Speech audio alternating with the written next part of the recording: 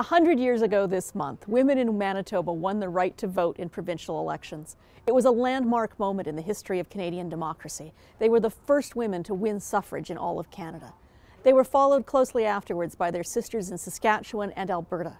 And it was Alberta women who actually had the honor of going to the polls first in 1917 when we elected the first two women in the British Empire to hold legislative office, Louise McKinney and Roberta McAdams.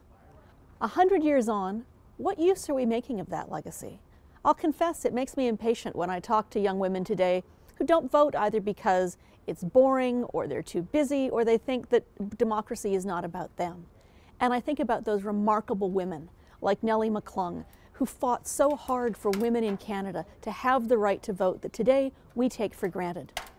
So this month, as we celebrate this centennial, I think the most fitting tribute we could give these women is not a statue or a plaque or a newspaper essay. It would be respect for the democratic rights they fought so hard for us to have.